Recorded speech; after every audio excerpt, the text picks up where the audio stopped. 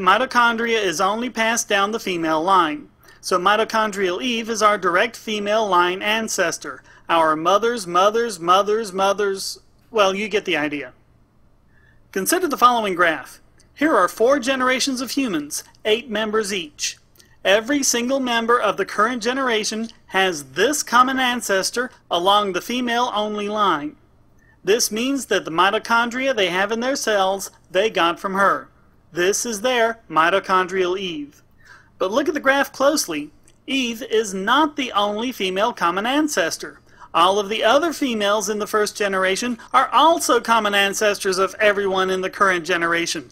The only distinction with mitochondrial Eve is that she is the female line ancestor, everyone's mother's mother's mother.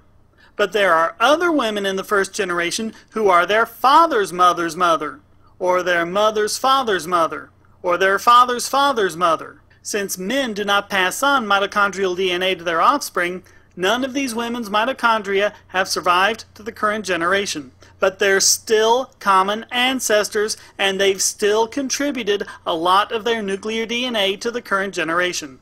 So Eve is not the only common female ancestor, nor is she the first human female. We can imagine the first generation in our diagram as having a long line of ancestors above it. She's not even the common ancestor of every single female. These females in the second generation are not related to her, and of course, she's not an ancestor of the females in her own generation. Mitochondrial Eve just represents the woman who, as luck would have it, managed to pass on her mitochondrial DNA to everyone in the current generation. The first generation would have had their own mitochondrial Eve going back further.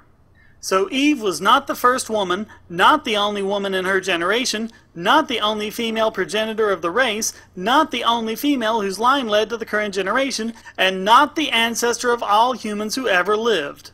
But details, details. Well, that's Eve. But what about Adam? Y nuclear Adam is so named because his Y chromosome has been passed on. Only males pass on a Y chromosome to the next generation. So Y nuclear Adam is the direct male line ancestor of everyone in the current generation. In this graph, that's this guy. Like mitochondrial Eve, he is not the first man, not the only man in his generation, not the only male progenitor, not the only male whose line led to the current generation, and not the ancestor of all humans who ever lived. Not only that, he's not even married to Eve! They had no children together, didn't have to even know each other, and may not even have lived in the same place.